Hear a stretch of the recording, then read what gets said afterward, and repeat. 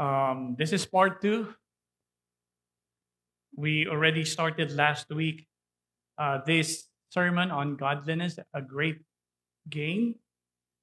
And we learned last week basically that uh, the message that we want to learn is that godliness is not a means of gain, but a great gain. Right? It is a great gain. Um, we touched last week on what godliness is not, right? What is not godliness at all. And it is that we try to obey the Lord or we try to do the work of the Lord because our goal is really to gain money, to gain material things. We use the Lord in that way, we use the Lord so we can gain earthly things. Uh, that is not true godliness right? And so we were clear last week that false teachers, there's one thing in common to them, and it is that they love money, right? They love money. Now, we'll be looking at the positive side, although there will still be negative things in here. And this would be our second point on this sermon. Godliness is a great gain, right? So we'll now be looking today on true godliness. We'll be focusing on verses 6 to verse 10. Right? That's where we will be um, today. But here's the reality how many have fallen from the faith because of the love for riches? How many uh, people who profess faith supposedly in the Lord Jesus Christ, but at some point of their lives, they left the faith in pursuit in pursuit of money. Well, this is not surprising. Jesus himself uh, said regarding the heart which resembles the thorny soil, right? Remember the thorny soil where the seed, seed of the gospel fell? Jesus says the cares of the world and the deceitfulness of riches have kept the gospel from bearing fruit. Now that these people have been in church for quite some time, can even probably articulate the gospel and some important doctrines of the faith, but their hearts was never changed. They never learned to love the Lord. They never prized God more than anything else. They remained to be lovers of this world, lovers of money. How many have been in churches for the longest time but you realize they have never grown into Christ likeness. And sometimes we wonder what is the problem? We receive the same preaching on Sunday, we belong into the same small group, we read the same book together. What is the problem? Why are you gr- not growing into Christ likeness? And then we realized that it is because there is still nothing more important to most of them but the things of this world. This is sobering, isn't it? At least this calls us to, to examine our hearts and understand if, if I still love the things of this world more than God. We are living in a time when money, what it can do, is portrayed as everything. You know, people think that if you have money, you can do whatever you want, or you you can get whatever you want, and you can do whatever you want to do. Tapos yung silent po na assumption is that, or parang nasa mind ng tao na mostly ang nag-iisip lang po noon yung mga hindi pa nila naranasan yung talagang maging mayaman. So thinking is that when I get riches and I can do whatever what I want to do, I will be most happy.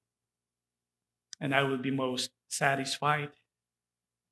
Now that is the problem in the in, in the time of Paul you read in 2 Timothy chapter 4 verse 10 about this co-worker of Paul by the name of Demas.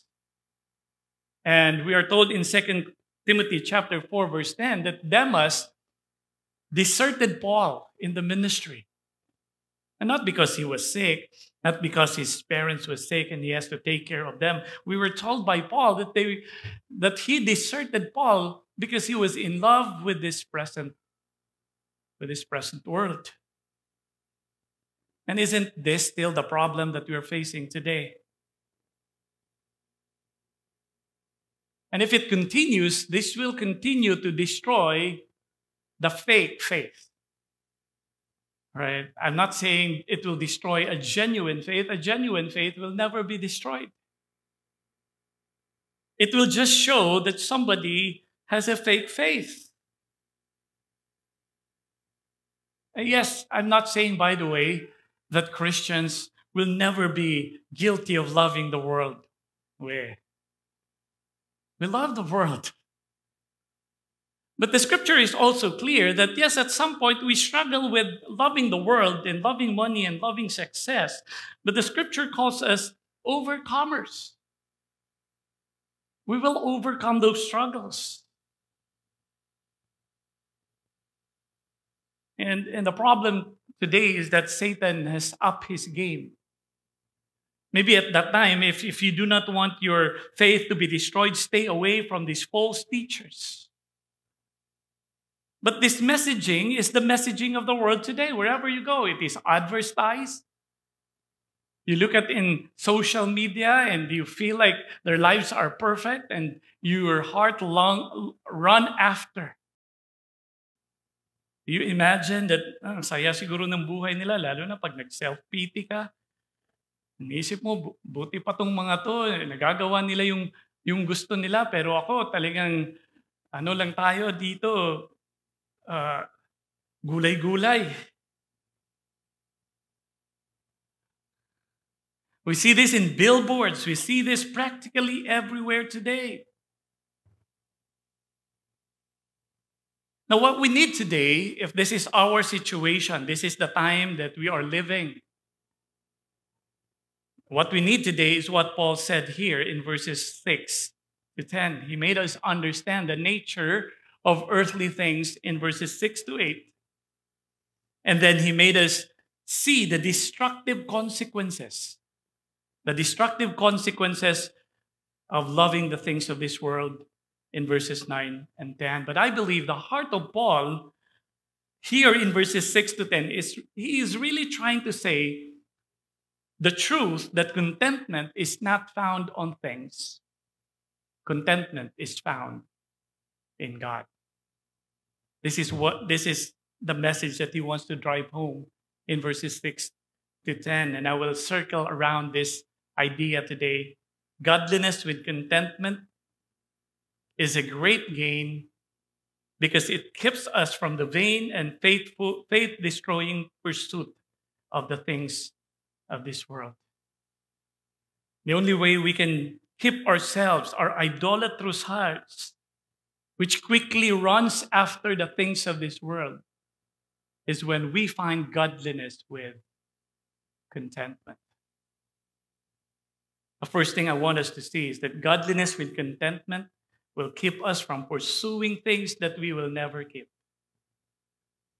Right? Godliness with contentment will keep us from pursuing things that we will never keep.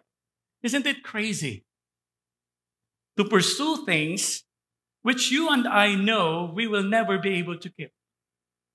Now, the book of Hebrews has a way of saying or calling this one. It says it is a chasing after the wind. And a chasing after the wind, or kung sa Tagalog parang naghahabol ka sa hangin, yun ba yun? Right.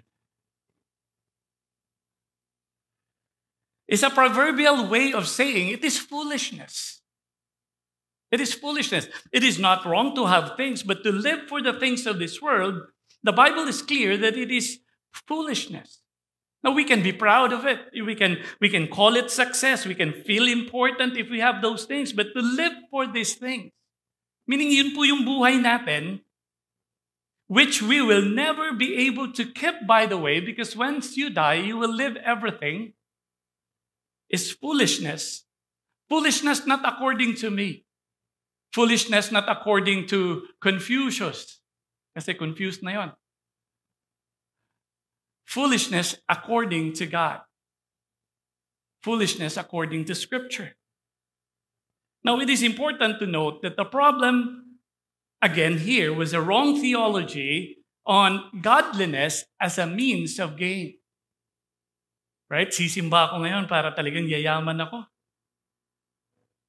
Sisimba ako ngayon para talagang maging maging uh, successful yung aking aking business. Tapos nung hindi naging successful ang business, binabalikan ng Panginoon. Lord, nagsimba naman ako eh. They thought that to be a Christian is to be pros- prosperous financially. Somehow, Paul is showing in verses 6 to 10 that the problem with the theology that says godliness is a means of gain is that those who adhere to this theology would never find contentment. This is the problem. If, if, if our theology says godliness is a way to have all the things in this world, the problem with that is you will be miserable. You will be the most miserable person in the world because you are a person who never understands contentment, who never understands satisfaction, who is always pursuing and never arriving. Alam mo yon? Parati ka lang naghabol, tapos parati ka lang nag-iisip kung ang mind mo, kung makuha ko to, finally maging happy na ako. Tapos nung nakuha mo, yun na naman. Uh, kung makuha ko yung next, ay, ako magiging happy. Parati mong hinahabol yung happiness and you never arrive. And you are miserable. You need to find contentment. Before we will deal with the practical problem of pursuing earthly things, we have to note that Paul's main concern here is the spiritual danger of the pursuit of earthly things. Na hindi lang po ito na parang empty ka, naghahabol ka ng things of this world. Paul says, no, there is a spiritual danger. And he is not apologetic. Parang hindi po nahihiya si Paul sabihin to. He was rather straightforward. And he said in verses 9 to 10 that it can lead to the destruction of your faith. Therefore, yung totoo pong believer, a true believer, cannot make earthly things as their pursuit because when one does not learn to be content with what he has, he cannot keep himself from pursuing the world when, when one does not have contentment, the world has so much to offer for us to resist. Right? Ang dami pong ino-offer ng world is so hard to resist unless we find contentment. You see how important contentment is? Are you contented? When you look at your face in the mirror this morning, are you contented with what you saw? It's the reason why I believe verses 6 to 10 here really answers the question why is godliness with contentment a great gain? Why is godliness with contentment a great gain? The first reason that Paul pointed out why godliness with contentment is a great gain is it keeps believers from the vain pursuit of earthly things, which no one can bring any of it with him when he dies. When he dies. It keeps us from that crazy pursuit. Though Job said, di ba sabi ni Job, in Job 1.21, Naked I came uh, from my mother's womb, and naked will I depart. In 1 Timothy chapter 6, verse 7, Paul, by using the word contentment, he's really using the word from the Stoics. He was not referring to Job, but the phrase of the Stoic. And by doing that one, ang ginagawa po dito ni Paul is he wants us to understand this basic truth. Basic na basic po itong truth na to that you do not have to be a believer to understand this truth. The Stoics understand this. The Stoic is saying, regardless of your, what your situation is, it doesn't matter if you have little or more. What's important is that you remain standing because anyway, when you die, you cannot bring anything with you. That's the Stoics. And today, di ba? Kahit, kahit you don't have to be a Christian. Either yung, yung isang believer na galit po sa family member kasi hindi talaga tutulong. Kasabihin po natin na, na sige kasi hindi mo, madadala mo naman yung pera mo sa langit. Huh? And we're, we're saying, when you die, you cannot bring that with you. Or kaya naman po yung isang tao na kapag ka masyado siyang magastos, pag may pera siya, ginagastos niya po kaagad. And then you would ask, why do you spend? And he would say, well, anyway, I could not bring any of these things. My point is that you do not have to be a believer to understand this. This is very elementary. That's why Paul said, How can a believer fall into this trap? This is a basic truth about life.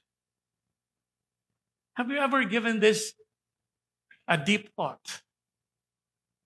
Kumbaga, at some point, pinag-isipan mo ba talaga itong katotohanan po na ito na when you die, you cannot bring anything with you. Remember that we are not talking about having earthly things, but living our lives in pursuit of it. And here's how we know if we're starting to live in pursuit of it. You are a little bit comfortable, but you are not, you are not um, contented with that comfort. And then you desire for the next comfort. Nung una, banig-banig lang. Tapos, sana magkaroon lang ng foam. Na, tapos nung nag-foam na, parang nung napadaan sa all homes, parang maganda din, no? masarap yung ano. Right? Nag-start lang sa maliit na TV. Palaki ng palaki.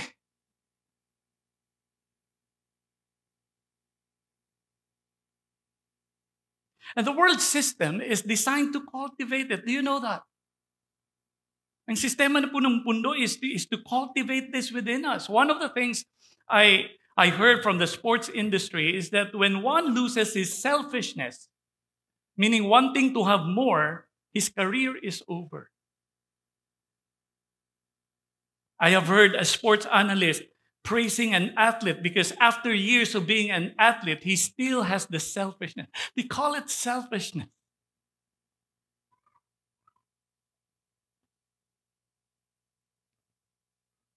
Commitment is not a good word, or uh, sorry, content is not, sometimes it's not a good word in the world that we're living. One should never be content, or else he will lose whatever he worked for. He should always desire for more. Now, here are some messages from the world keep on dreaming. When you reach your vision, enlarge your vision. When you fill your barn, tear it down, make a bigger one. Keep on pushing. Therefore, the next thing, because the world makes us run to this like treadmill. This is this is the treadmill, and the world says, keep on running on that treadmill. The next time you know, you are on your deathbed. And practically speaking, you have been running all your lives in that treadmill that tells you keep on pushing, keep on pursuing to get more. But, but hey, listen to me. It does not change the fact that not one of the earthly things you will gain, you will be bringing with you. Doesn't change the fact. Call it legacy, yes. People will rejoice your legacy. But you left your legacy here. And I don't know where you are.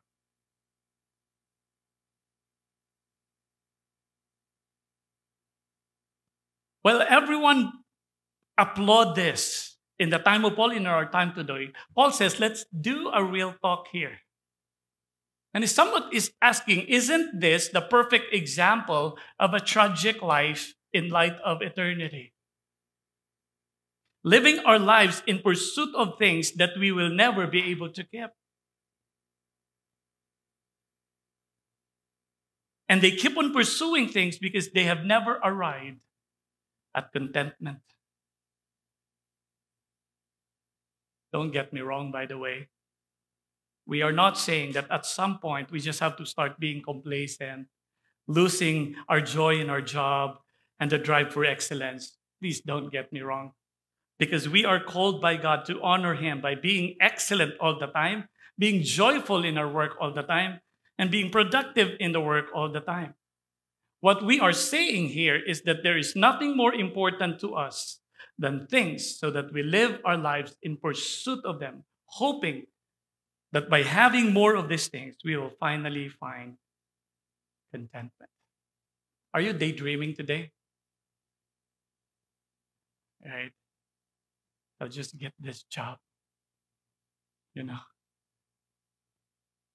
Are you still daydreaming? Uh, I'm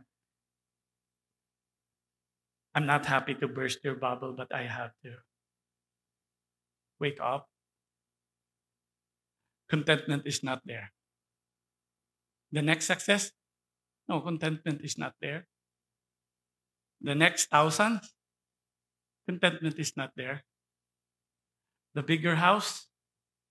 Contentment is not there. Contentment is found in God.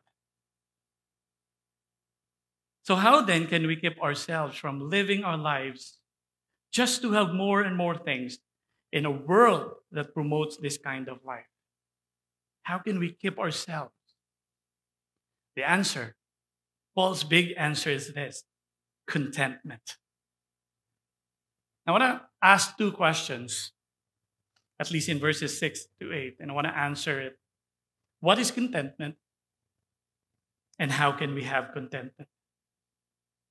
What is contentment and how can we have contentment? What is contentment? Contentment is a state of being satisfied, even with just the things that will ensure we continue to live.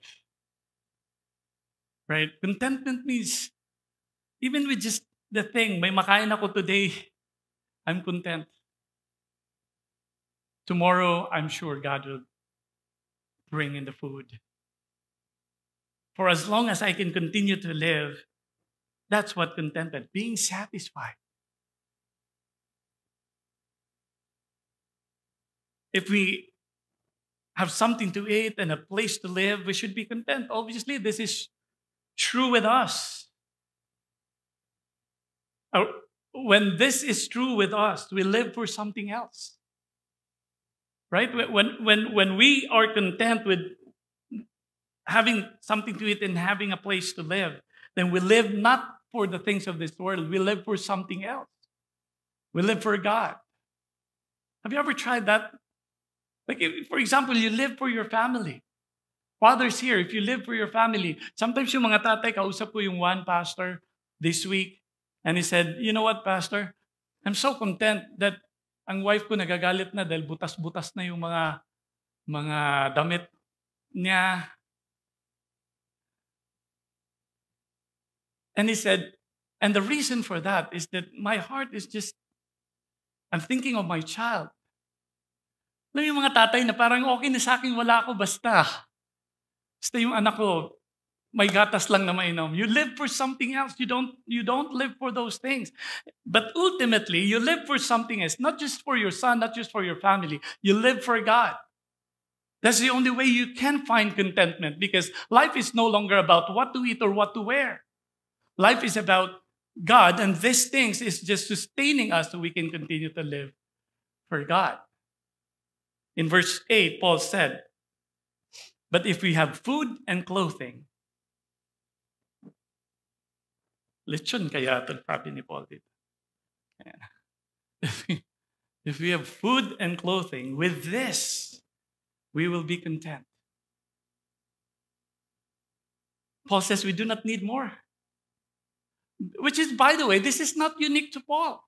You might say Paul is, is hardcore. He is so radical. We're not called to be Paul. But this is not unique to Paul. Remember the writer of the book of Hebrews, we read of him earlier. He said, Keep your life from the love of money and be content with what you have. For he has said, I will never leave you nor forsake you. Jesus himself in Matthew chapter 6, verse 25 to 30, he said, Do not worry about these things. Whatever you have, be content with it. Because you can trust that love, that the Father loves you. Contentment is not something you think you have when you finally get enough. It is a present state of satisfaction. Now, I don't have to ask if you have a lot right now, you're satisfied with your job, you're satisfied with your bank account, you're satisfied with the, lit- with the money you have.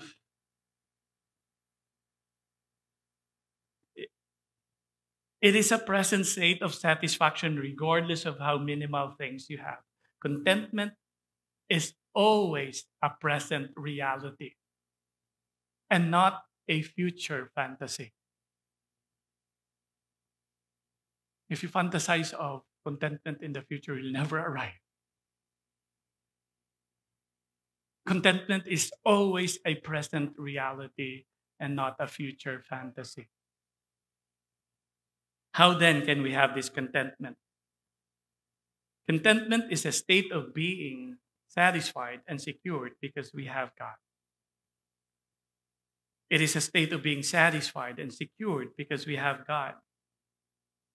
Now, if you look at the text, we cannot find any description that Paul said, but just that godliness with contentment. And I think the word godliness there is the key to contentment. In fact, Paul, there's a debate here. Does it godliness leading to contentment or godliness characterized by contentment? Whichever way you go. Uh, God, if there's true godliness, it will be characterized by contentment. If there's true godliness, it will lead you to contentment.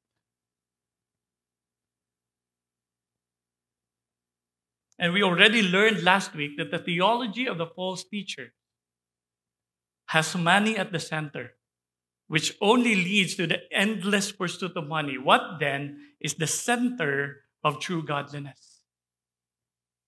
This is the big question. What then is the center of true godliness? I will call godliness God centeredness. True godliness does not have money at the center. True godliness does not have like you worship God but you love money. That's not that's not godliness. Godliness is treasuring God.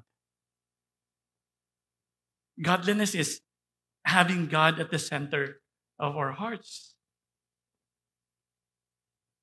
And this is true because contentment, again, can only be found in God.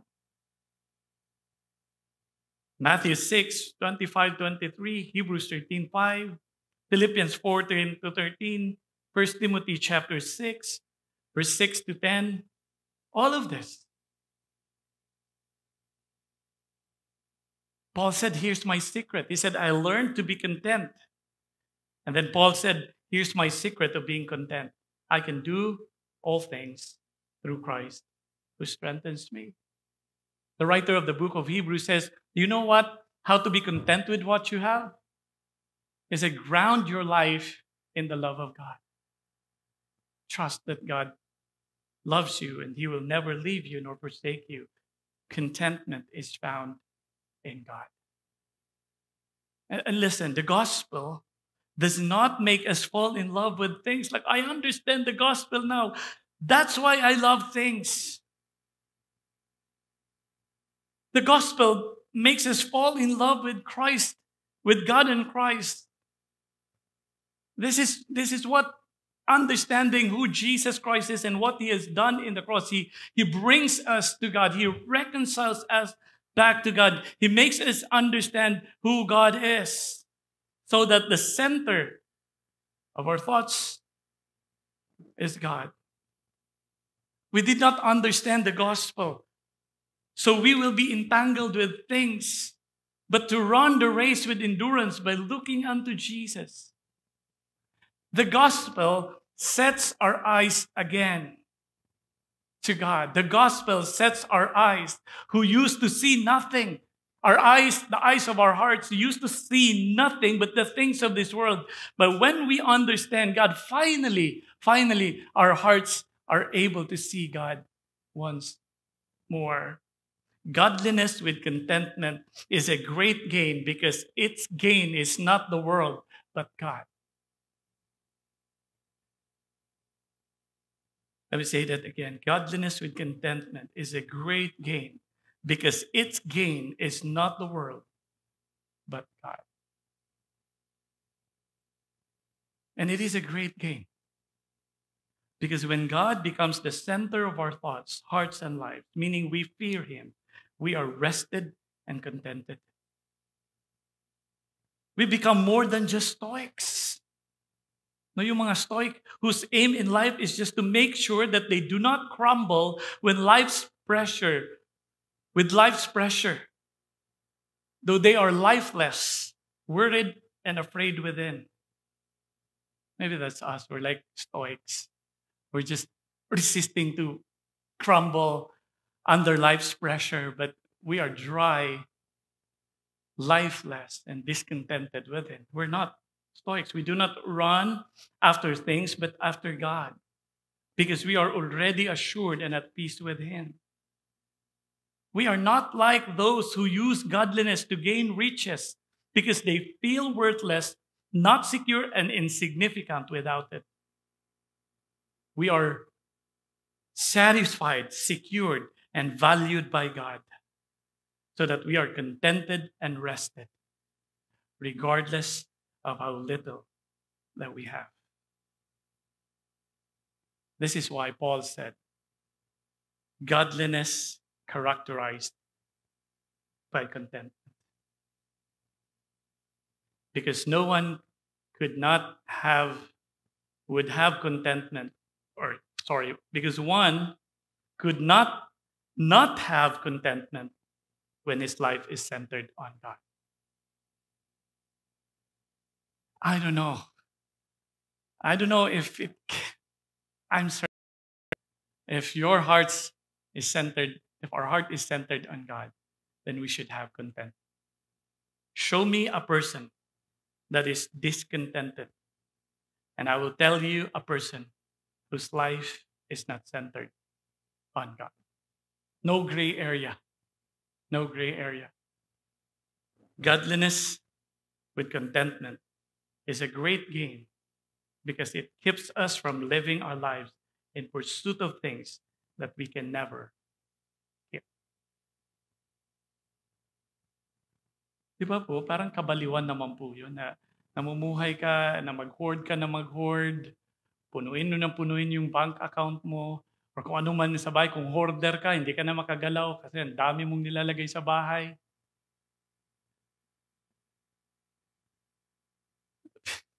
Wala ka naman talagang madadala yun. It's, it's, it's just, it's just foolishness. We will waste our lives pursuing those world. Ang, ang buhay mo pala po, for all we know, palit po yan ng paliit every day. And so we're wasting our lives pursuing this world when we do not find content in God.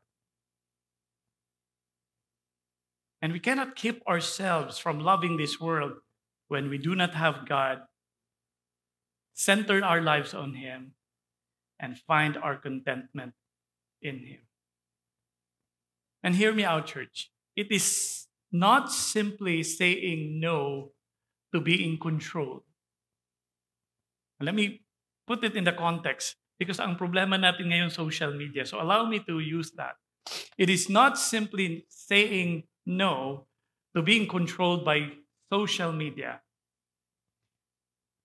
It is finding our contentment in God. That we will lose our love for this world. And in that way, we will not be carried away by this world.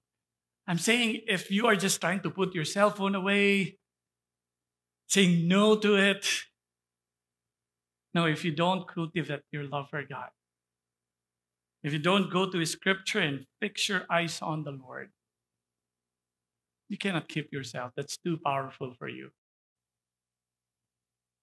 The second reason why godliness with contentment is a great gain is this godliness with contentment will keep us from loving money, which could not keep us. Right? Have all the money you have, but it cannot keep your soul. 1 Timothy chapter 6, verse 9 to 10 Again, Paul said. But those who desire to be rich fall into temptation, into a snare, and to many senseless and harmful desires that plunge people into ruin and destruction. For the love of money, by the way, not just the love of money, it did not say for the love of money is the root, meaning it's just the root, but one of the roots of all kinds of evil is a root of all kinds of evil. It is through this craving that some have wandered away from the faith and pierced themselves with many pangs. So Paul is saying there, love for money daw po will swerve itong mga tinatawag na believer from the faith and be destroyed by the Lord at the end of the day. Now, we will only understand Paul's words here if we see the goal that Paul implied. Obviously, ang ini-imply dito ni Paul, bakit kailangan matutunan natin yung godliness with great contentment, is because every Christian should finish the race. We should finish the race. While we might have been saved by faith, let us not forget that genuine faith endures to the end. Right? Hindi natin pwedeng sabihin sa Lord, Lord, nanawala naman ako sa iyo for 10 years eh. Di ba counted yun? Nawala naman ako sa iyo, Lord, for 15 years din yun, ha? And it was only later on, five years na lang remaining in my life that I turned and disowned Christ. Di ba counted yun, Lord? Remember that Jesus said that those who endure to the end will be saved. And the writer of the book of Hebrews wrote a whole book for one reason. And that those true believers will endure to the end. For Paul, the desire to be rich in verse 9 and the love of money in verse 10, the same, is a root where other evil things grow from. Very clear. The, the, the love of money is a root of all kinds of evil. One will compromise because of money, isn't it? Nung hindi ka sana sinungaling, pero doon, nung nakita mong kikita ka, nagsinungaling ka na lang. One will sacrifice relationship because of money. One will even sacrifice his reputation or career or family because of money. Now, this is the reason why Paul said here, because if you love money, every opportunity to gain money becomes a temptation and a snare that you can fall into. Uh, buti na lang ngayon to. Uh, let me say this one. The culprit of the death of family members and others at the end of the story is Bettina. Yung iba, ano yun?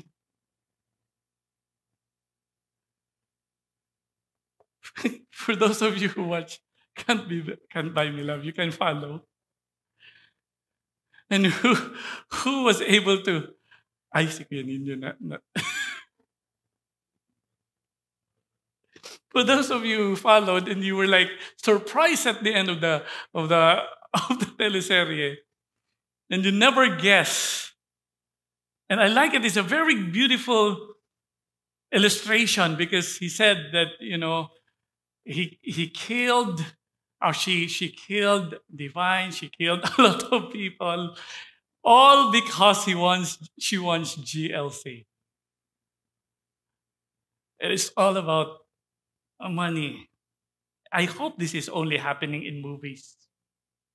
But sadly, this is happening in real life. The, the lesson of the story is not watch the latest teleserie that's not what we're talking about here. I'm sure Paul had in mind Hymenaeus, Alexander in 1 Timothy chapter 6 verse 20, who might have left the faith as well because of money and false teaching. Later on in his second letter, he made mention again of Demas, who deserted him because he was in love of this present world. When Paul looked at that situation, Demas deserting the Lord because of present world. It's more than just Bettina killing every family member or killing people for the sake of money. For Paul, this is more senseless. He, he could not understand it. If he could not understand, why would you kill a family member for money? For Paul, why would you left the faith for money? And li- listen, he said, this is senseless. You see the word that he used in verse 9? He said, This is senseless. I could not understand this one. How can you left the faith for the sake of money? And it is also senseless because Paul said, This is senseless. I could not understand this because this will only lead to harm. He already said in verse 9 that this will result to plunging people into ruin and destruction. He further explained this in verse 10b, saying, It is through this craving, the craving for money, that some have wandered away from the faith and pierced themselves with many pangs. It is senseless, not because it will harm them in this life. This is senseless because this will make them suffer forever in hell away from God. When your pursuit of money or with your pursuit of money, you will end up nothing with nothing but your own destruction. I'm not saying we are all working, and of course, we work so that we will have money. So let me again be very clear. This is about living for these things, making money our God. Do you see what Paul said? That godliness with contentment is a great gain. Do you see that? Why is it great gain? Because it will keep you from living a life that will only lead you to destruction. It keeps us from the love of money. Do you hear that? It keeps us from the love of money. Look at that. This is simply, this is not simply talking about changing our actions. This is talking about changing our hearts. We can change our actions. But can you really change your heart? Can, can you change? Can you, can you tell your heart, be happy? Or for the women na meron pong nanliligaw po sa inyo but you, you want to love that person pero hindi talaga eh. Can you tell your person, love that person? What we have here is not a simple thing to do, but an impossible thing that only God can do. To have our hearts centered on God will happen or never happen unless we understand the love of God in Christ Jesus is better than life. I think Paul is talking about this should happen because you understand the gospel. It takes the Holy Spirit to make us understand what Jesus on, did on the cross. Or what Jesus did on the cross is the most beautiful thing that a hopeless, held down sinner would ever see in his life. Understand this you are a sinner, and you finally realize that you are held down and you are hopeless, and you see hope. Isn't this the most beautiful thing? It means we have understood that we did not just mystically appear into this world, finally, but we finally understand that we have been created by God. And we know that even if we would not think about it, that I am created by God, deep in our hearts, we will begin to understand that we will still answer God one day. And the thought, yung thought po that we will stand before God one day as a sinner will begin to make us cringe in fear. Alam mo yun, yung nangangatog sa takot. Because we have finally understood that the God who created us demands punishment for every sin we committed. Which we have finally accepted that we did not only sin against God, but we are a sinner to the core. And we have come to the realization that we're doomed. And we can never run from it. You can never run from God. David said, even if I go to the deepest sea, to the highest mountain, or to inside the cave, to the darkest place, can you really run from God? But while despairing, may you might be thinking, then I'm in despair as I look at myself, nakakaawa yung situation, and I cannot do anything to change the situation. Finally, you saw your hope. Finally, you see and you understand that someone who is not of this world came into this world by becoming like us, a man, the Lord Jesus Christ, who is both God and man.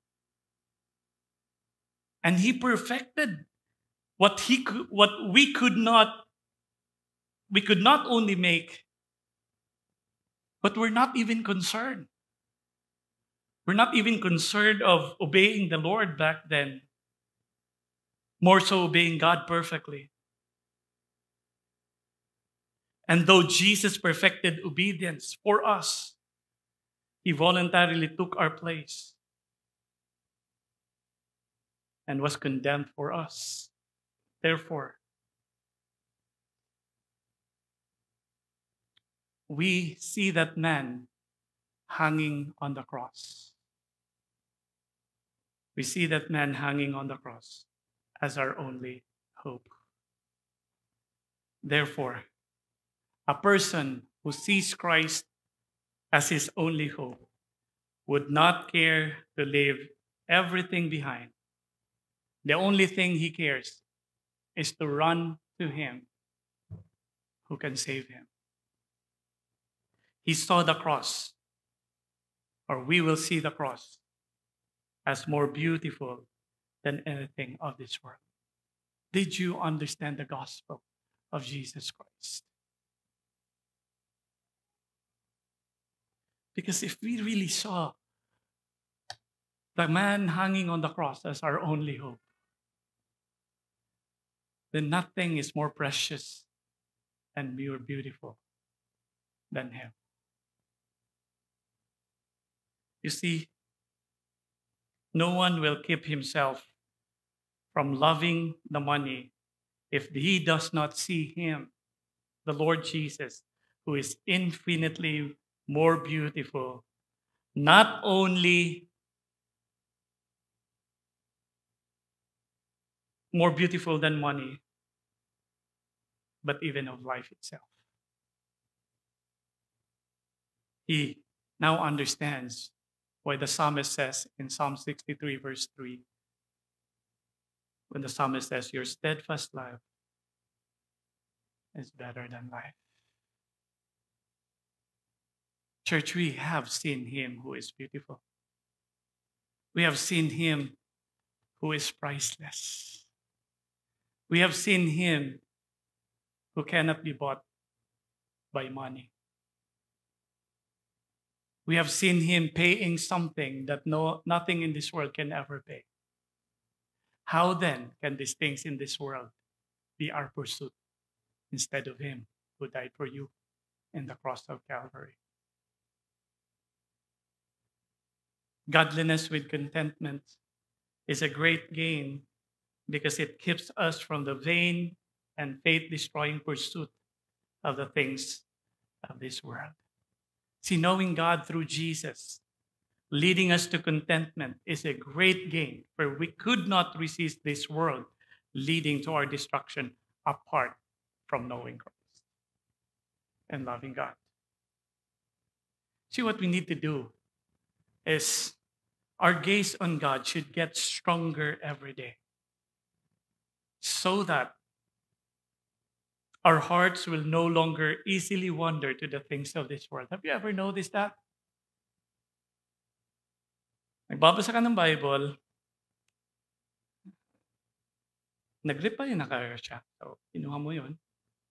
And then, titingnan mo lang kung nag-reply na ba yung tinext mo. Just later, the next time you know, 10 minutes ka na doon. And then, nung 10 minutes na, sabi mo, ba't nga ako nandito?